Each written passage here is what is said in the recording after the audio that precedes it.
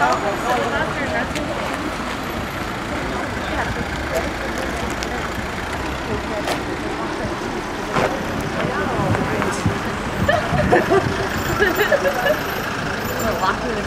don't want to be locked in the dungeon. I'm the only person you find in those terrible places. I don't want to say the name of the I'm the only person there when you go and visit